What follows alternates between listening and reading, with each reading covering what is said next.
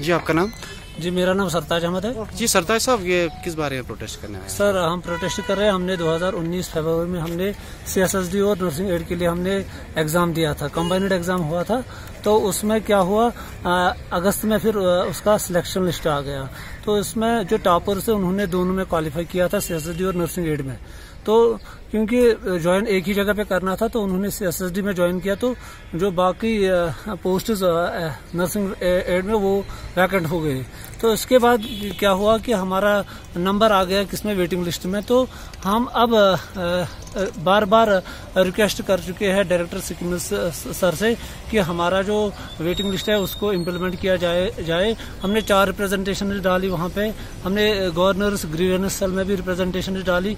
तो फिर करीबन सात, आठ महीने गुजरने के बाद भी कुछ नहीं हुआ। हमारा जो वो वेटिंग लिस्ट है, वो इम्प्लीमेंट नहीं किया गया। तो फिर हमने आखिर में हमने डिसाइड किया तो हम चले गए कैट में।